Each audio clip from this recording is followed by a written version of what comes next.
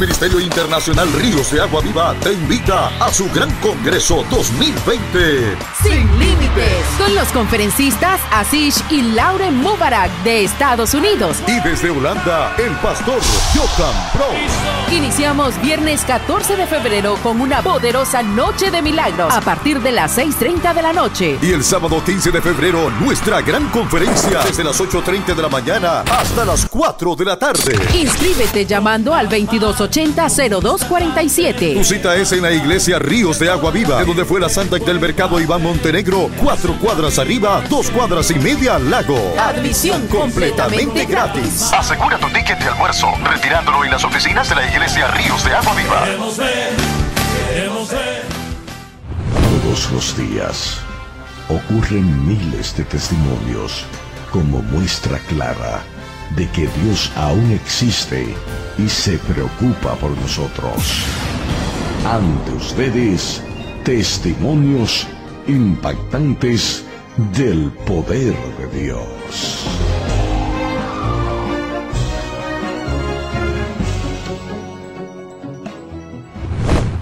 Cuando yo ya tengo más de dos años de estar padeciendo de sordera, hasta perdí mi trabajo por mi sordera porque todo me lo podían escrito.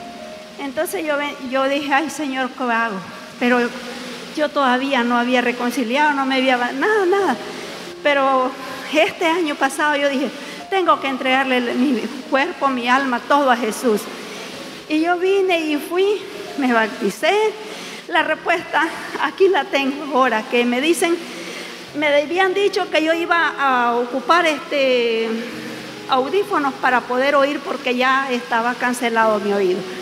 Pero para la respuesta y gloria y honra de Dios, aquí traigo mi papel que no necesito de eso ya. No necesita y la gloria y honra se la doy a Dios. Está completamente sana. Yo por Aquí eso está el ahora estoy examen. dándole gloria a Aquí Dios. está el té. Dios le dio respuesta. Bendiciones, pastor. Mi testimonio es de bendición eh, que pasa por obediencia. Eh, recuerdo que también en diciembre vine a golpear siete veces, a los jueves en oración, y una deuda que tenía ya más de siete años que no podía pagar, de más de 15 mil dólares, se pagó totalmente. Se la fue. deuda, se fue la deuda para la gloria de Dios. 15 mil dólares. Y eh, pues me quedé sin trabajo el 31 de diciembre. Y ya para la gloria de Dios, ya me llamaron. La próxima semana empiezo a trabajar nuevamente para la gloria de Dios. Empiezo el martes y empiezo el martes porque el lunes es feriado, pero ya me empiezan a pagar a partir del lunes para la que respete el diablo. Qué bueno, el Señor ya tiene trabajo Gloria también. La respuesta viene de Dios. Mi testimonio es de bendición Bendición. porque yo apliqué a la Facultad de Medicina del hospital y hice los últimos siete ayunos del año. En el primer ayuno, saliendo de la iglesia, me llaman de la facultad diciendo, María Fernanda, usted aplicó, usted fue aprobada, venga a matricularse para la honra y gloria del Señor. Medicina. Medicina. Ahí está ya. Ya está matriculada. Gloria a Dios. Si uno se pone en las manos del Señor, nada es imposible. Amén. Ya va a ingresar a la Facultad de Medicina. Vea, eh, este año que pasó, este año pues fue de mucha bendición para mi vida porque el último mes del año, eh, entonces este año pues estaba preocupada porque tenía cuatro trabajadores que usted sabe, tiene que darle uno aguinaldo, canasta básica y uno hay que ser agradecido. Pero gracias al Señor le doy de que el Señor me suplió y pues en Navidad pues salí todo bien, les di su canasta básica y les di su aguinaldo. Ese es mi primer testimonio. Gracias al Señor que Amén. cumplí. El segundo testimonio, mi pastor Omar, fue en la vigilia. Vea, el diablo me quiso atacar un mes en diciembre con un dolor en el cerebro, aquí un dolor en el sentido que yo no aguantaba día y noche en, el- en mi negocio, yo no soportaba, yo decía, ya no aguanto, que migraña, no hallaban ni qué decirme los médicos. Ok, pero yo no había entendido que ese era un proceso que Dios me iba a sanar en la vigilia. Estando en la vigilia adelante, danzando, fui sanada para la gloria de Dios. En la Fui vigilia. sanada en la vigilia y hay poder la sangre de Cristo. Se fue el dolor. Y mi tercer testimonio es de que le vengo a dar gracias a Dios por la vida de ella, es mi amiga. Eh, le vamos a mostrar una foto, hermano, para que miren cómo Dios levantó a esta mujer de cuidado intensivo. Le dio un preinfarto, hermano.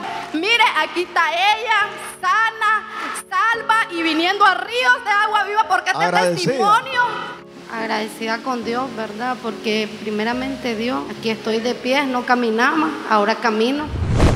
Conviene que yo declare las señales y milagros que el Dios Altísimo ha hecho conmigo.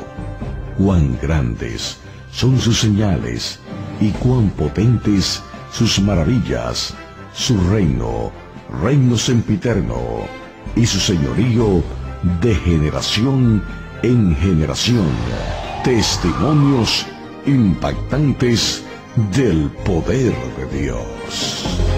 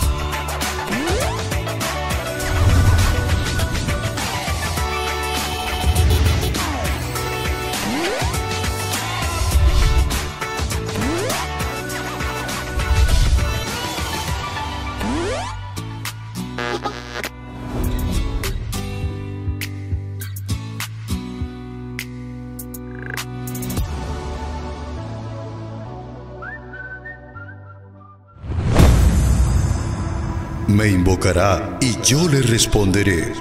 Con él estaré en la angustia. Lo libraré y le glorificaré.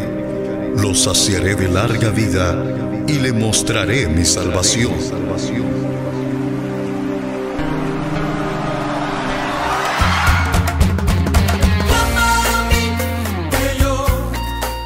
2020, año de la respuesta.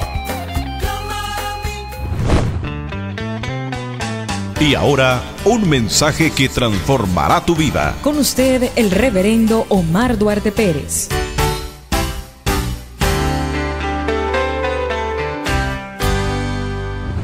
Nunca jamás serás avergonzado. Yo no sé si usted ha pasado alguna vergüenza en su vida, pero yo creo que casi todo el mundo en algún momento de la vida ha pasado alguna vergüenza, que lo han humillado, lo han avergonzado por una deuda, por un trabajo, por un- una enfermedad, por cualquier cosa, por una eh, distinción que lo miran como menos o por una degradación, por cualquier cosa. No sé quién en su vida haya pasado un momento de vergüenza, pero Dios nos trae una palabra hablándole a su pueblo a través del profeta Joel, porque Dios es un Dios de respuesta. ¿Cuántos saben que Dios es un Dios de respuesta? Él dice, pídeme y te daré por herencia a las naciones. Él dice, clama a mí y yo te responderé. ¿Cuántos alaban la gloria del Señor? Y a su nombre. Y una cosa es vivir para el mundo y otra cosa es vivir para Dios. Porque en el mundo la paga del pecado es muerte. En el Evangelio la dádiva de Dios es vida eterna en Cristo Jesús, Señor nuestro. ¿Cuántos alaban la gloria del Señor? Yo recuerdo cuando yo estaba chavalo y compré mi primera bicicleta con mi hermano, Donald. Compramos una Super Rally, pero usada. Yo no sé si aquí alguien se acuerda de esa bicicleta Vancetti, Super Rally, que eran varillas, los frenos eran de varilla. Eran las mejores, las Super Rally, porque venían de Inglaterra. Pero la que compramos nosotros, estábamos chavalos, 14 años, 15 años teníamos. Era una que se la compramos a un panadero y ya, y con- uno con la gana de andar en bicicleta, nosotros la compramos. Y cuando la compramos, como no había que repararla, Me acuerdo que la llevo yo a un taller de bicicleta que había allá del puente del Edén, como tres cuadras abajo, donde Carlos Pérez. La llevo a reparar, yo chavalo con mi hermano. Y cuando llego con una bicicleta vieja, me dice el del taller, ¿qué? Eso no sirve, dice. Eso no aguanta ni reparación, anda a botar eso al basurero, me dice. Y me quedo yo y mi hermano azareado, avergonzado. Yo no hallaba dónde meterme, digo, ¿para dónde agarro? Que no aceptaba ni reparación la bicicleta. Y entonces salgo yo con la bicicleta jalándola, triste con mi hermano. Y pasé esa vergüenza tremenda y eso no se le olvida a uno nunca. Eso no se le olvida nunca. Y yo me propuse y dije, voy a comprar una y voy a comprar una buena. Y comenzamos a esforzarnos hasta que compramos una buena, después compramos moto, después compramos carro y Dios nos llevó en bendición. Pero qué triste que es pasar una vergüenza. Yo no sé a cuántos los han avergonzado por deuda, por dinero. Pero yo te vengo a decir en esta mañana que en el año de la respuesta Dios no va a dejar que su pueblo jamás sea avergonzado. Dios no va a permitir que tú vuelvas a pasar una vergüenza. Que Él te va a responder. Que Él dice, clama a mí, yo te responderé y te enseñaré cosas grandes y ocultas que tú no conoces. ¿Cuántos saben que Dios tiene cosas grandes y ocultas para su pueblo? Que Él va a estar cuando lo llama. Que Él va a estar cuando le clame. Que Él va a estar cuando le pide. Mi alma alaba a Jehová. Y este momento que Israel ha vivido es un momento que había sido avergonzado. Era un pueblo rebelde. Era un pueblo contradictor. Y Dios le habla al profeta Joel porque toda la cosecha que habían hecho la habían perdido. Usted sabe cómo trabaja el agricultor, el del campo, preparándose en el invierno. Echa toda, prepara la tierra, invierte insumos, todo. Y que después que ha invertido tanto, pierda y se le come la plaga, la langosta, la oruga, el revoltón, la cosecha, y en vez de ganar pierde, queda avergonzado. Israel había sido avergonzado porque había estado en desobediencia, porque Israel no había obedecido a la palabra de Dios, porque Israel no había hecho caso al llamado de Dios. Y es cuando Dios le habla al profeta Joel y le dice, proclamar ayuno en Sión, Joel 2.15, tocar trompeta, convocar asamblea, reunir al pueblo, santificar la reunión, salga el novio de su cámara y la novia de su tálamo. Dios llama al pueblo a buscar a Dios a levantar los ojos al cielo, agarrarse de la mano de Dios. El diablo los había metido en una vergüenza grande, habían perdido todo, habían sido derrotados por sus enemigos, no miraban el sol claro. Yo no sé cuánto le ha pasado eso, que han pasado los años, no ha visto el sol claro, no ha salido de un problema y ya está metido en otro, no ha salido de un problema y ya viene otro. Pero hoy te tengo una noticia, cuando Dios dice proclama ayuno, convoca asamblea, reúne al pueblo, busquen, me dice el Señor, desde los ancianos, los niños, los jóvenes, los sacerdotes. Y yo te restituiré lo que se comió la oruga, el saltón, el revoltón, la langosta. Alabado sea su nombre.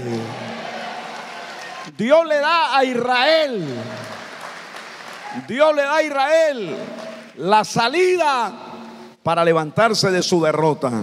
En Joel 2.15, Dios le dice a Israel lo que tiene que hacer lo que tiene que hacer.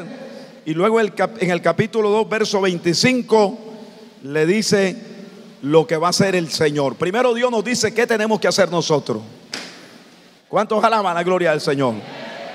Dios nos dice qué es lo que tenemos que hacer para recibir respuesta de Dios. Y le dice Dios a Israel, proclamen ayuno, convoquen asamblea, reúnan al pueblo, santifíquense todo el mundo desde la novia, el novio, los ancianos, los niños, desde el que mama, que no se quede nadie sin buscarme. Y luego le dice en el capítulo 2, verso 25, y os restituiré los años que se comió la oruga, el saltón, el revoltón y la langosta.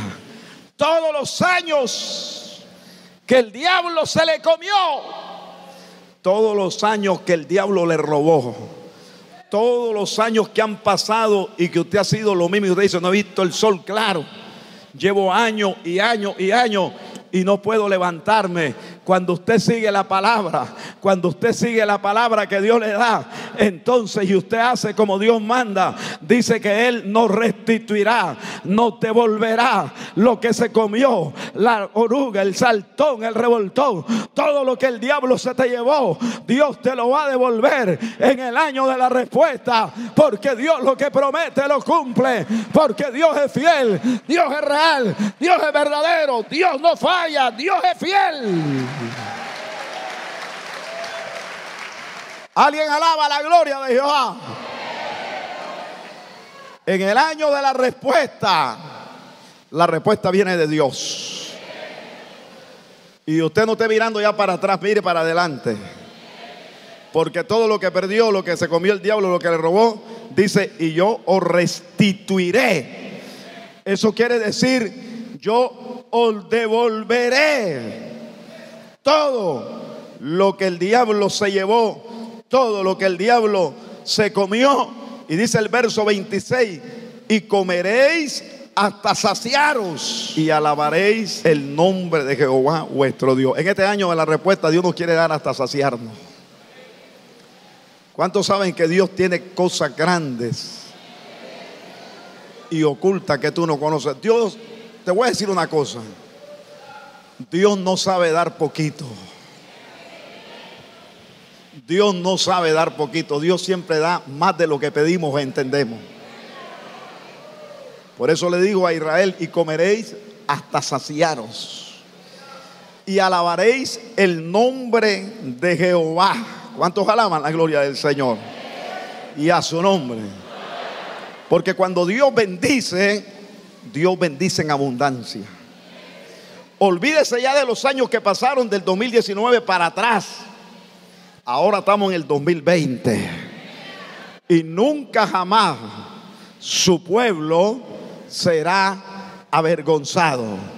Esa es la palabra que Dios trae de respuesta en el año 2020. Si nosotros obedecemos, si nosotros guardamos su palabra, si nosotros seguimos su mandamiento, si nosotros hacemos lo que Él dice, dice que el Señor nos va a devolver, nos va a restituir lo que se comió la oruga, el saltón, el revoltón, la lagosta, mi gran ejército que envié contra vosotros, porque esa plaga había sido causa de su desobediencia. Todos los males que le habían venido a Israel era causa de su desobediencia. Todos los males que habían venido sobre Israel había sido que habían ido detrás de dioses ajenos, habían adorado a imágenes de ídolos, de madera, de yeso, de oro, de lata, de palo. Y Dios le dice ahora, yo voy a reprender todas esas cosas y voy a devolver y comeréis hasta saciaros y alabaréis el nombre de Jehová vuestro Dios, el cual hizo maravillas con vosotros y nunca jamás mi pueblo será avergonzado.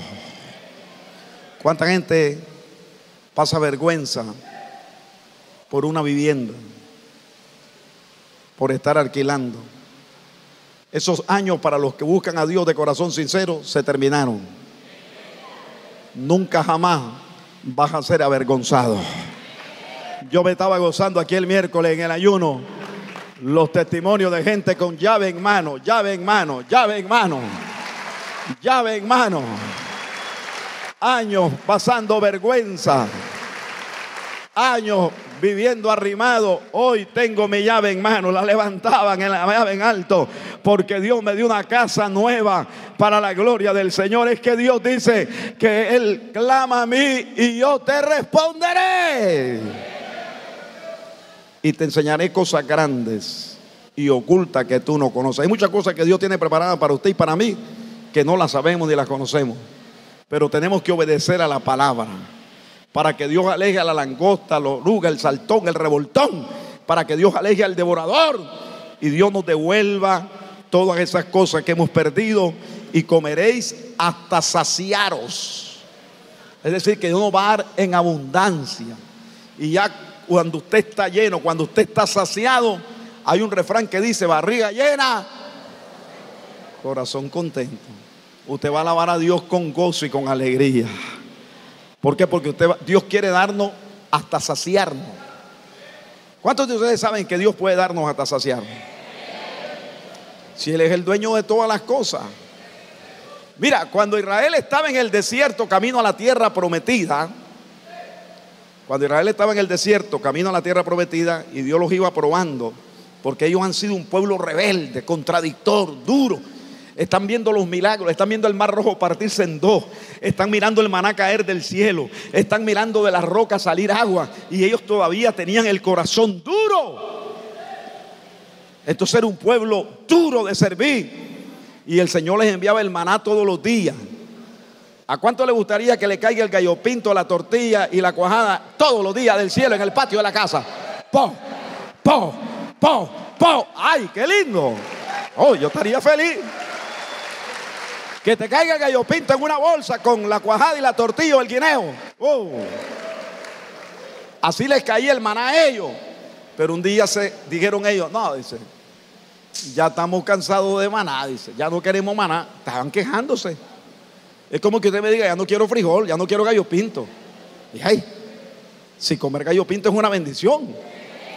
Te está comiendo bien, gallo pinto. Y ellos comenzaron a quejarse, los israelitas ya no queremos maná. No, estamos hartos, ya no queremos eso. No, no. Y le dijeron a Moisés, ya no queremos más ese maná. Y le dice el Señor a Moisés, Moisés dice, ahí dejarlo. Es que ellos creen que yo no les puedo dar carne, dice. Es que ellos creen que yo no les puedo dar carne. Claro que Dios no puede dar carne. Dios nos puede dar cualquier cosa, pero Dios primero nos está probando. A ver si hacemos lo que Él dice que hay que hacer tocar trompeta, proclamar ayuno, convocar asamblea, reunir al pueblo, levantar los ojos al cielo. Dios nos está probando. Y le digo el Señor a Moisés, Moisés, no es a ti que te están despreciando, sino que es a mí. Le voy a enviar, dice, carne para que coman y se sacien. Y dice que envió un viento recio y cayeron codornices sobre el desierto, pero cayeron tanta carne, cayó tanta carne que un codo de la tierra, 45 centímetros, imagínense de carne que no se podía ni caminar. Tanta carne que había, no podían ni caminar, de tanta carne, la, machacaban, porque eran 45 centímetros, un codo, lo que había caído de carne en todo el desierto. Y dice la Biblia que comieron carne, que hasta le salía por las narices, por los ojos y por las orejas. Es decir, para Dios mostrarle que Él podía darles carne, pero que no era por su soberbia. Ahí murieron en el desierto todos aquellos que se levantaron contra Dios. Porque yo quiero que usted sepa que Dios nos puede dar lo que nosotros le pidamos. Pero tenemos que vivir en obediencia a Dios. Primero tenemos que servirle a Dios de corazón sincero. Primero tenemos que hacer lo que dice su palabra. Y Él te va a dar la respuesta a tus peticiones. Él te va a dar respuesta a tus plegarias. El miércoles predicaba una palabra en Génesis 28, 20. Cuando Jacob estaba en aquel lugar que se llamó Betel. Y dice que miraba una escalera apoyada en el cielo y en el extremo de la tierra. Y miraba ángeles que bajaban y ángeles que subían. Esos ángeles están al servicio del pueblo de Dios. Esos ángeles traen respuesta a las peticiones. Llevan peticiones, traen respuestas, llevan peticiones, traen respuestas, llevan peticiones, traen respuestas para el pueblo de Jehová. Mi alma alaba su gloria. ¿Cuánto le alaban? ¿Cuánto le alaban? Yo quiero que usted sepa que aunque no lo vea aquí, aquí hay millones de ángeles. Son espíritus. No se ven. Están al servicio del pueblo de Dios. Y esos ángeles traen respuestas y llevan peticiones. ¿Cuántos alaban la gloria del Señor? Usted va a ver muchas veces ahora en este año manifestación de ángeles en su camino, que van a abrir puertas, que van a romper cadenas. Usted va a creer que es una persona, es un ángel que Dios te está enviando a abrir la puerta. Usted va a creer que es una persona y es un ángel que Dios está enviando para hacer un milagro en tu vida. Es un ángel que Dios va a mandar a tu familia, un ángel que Dios va a mandar a un lugar, a otro lugar. Es un ángel que Dios está enviando, ángeles al servicio de Dios, porque Dios es fiel. Él le dijo a Abraham y a Sara, ¿habrá algo difícil para Dios? En el libro del Génesis, cuando Sara era estéril y creía que no podía parir un hijo de 90 años. Y le dijo el Señor, ¿habrá algo difícil para mí? Dios todo lo puede hacer con un pueblo que le cree de corazón sincero. Y es lo que ahora le dice a Joel, y comeréis hasta saciaros, y alabaréis el nombre de Jehová, y nunca jamás mi pueblo será avergonzado. Y conoceréis, este año vamos a conocer la gloria de Dios, y conoceréis que en medio de Israel estoy yo, y que yo soy Jehová vuestro Dios, y no hay otro. ¿Cuántos pueden decir? Y no hay otro. Y mi pueblo nunca jamás será avergonzado. En el año de la respuesta vamos a conocer, vamos a darnos cuenta que Dios está en medio de nosotros. Jacob creía que iba solo. Cuando Dios le mostró en el sueño aquella escalera y aquellos ángeles, Jacob dijo, cosa terrible es esto. Yo no lo sabía. Que esta es casa de Dios y puerta del cielo. Jacob no iba solo. Iba el Señor delante de él. Usted y yo vamos caminando este año 2020 que estamos comenzando, pero no vamos solo. Dios va delante de nosotros. Hemos comenzado un año en vigilia. Hemos comenzado un año en ayuno. Hemos comenzado un año de rodillas. Hemos comenzado un año alabándole. Yo bendigo todas las vidas que están este primer domingo aquí, alabando la gloria de Dios. Los que estarán en el segundo, en el tercero. Usted está comenzando el año con el pie derecho. Usted está comenzando en obediencia. También Dios te va a enseñar para que conozca que Él está en medio de su pueblo y que Él es Jehová vuestro Dios y no hay otro. Grande solo Dios. Grande solo Dios. Y no hay otro. Y este año 2020, el año de la respuesta, conoceréis que yo soy Jehová. ¿Cuántos alaban la gloria del Señor? Dios nos va a dar a, dar a conocer que Él está en medio de su pueblo. Porque para que usted no sea avergonzado ni yo sea avergonzado, Dios tiene que manifestarse. Dios se va a manifestar para dar a conocer que Él está en medio de nosotros, que no estamos solos. El Ministerio Internacional Ríos de Agua Viva te invita a su gran Congreso 2020. Sin límites. Con los conferencistas Asish y Lauren Mubarak de Estados Unidos. Y desde Holanda, el pastor Johan Pro. Iniciamos viernes 14 de febrero con una poderosa noche de milagros a partir de las 6.30 de la noche. Y el sábado 15 de febrero, nuestra gran conferencia desde las 8.30 de la mañana hasta las 4 de la tarde. Inscríbete llamando al 2280-0247. Tu cita es en la iglesia Ríos de Agua Viva, de donde fue la Santa del Mercado Iván Montenegro, cuatro cuadras arriba, dos cuadras y media al lago. Admisión completamente, gratis. Asegura tu ticket de almuerzo, retirándolo en las oficinas de la iglesia Ríos de Agua Viva. Queremos ver, queremos ver.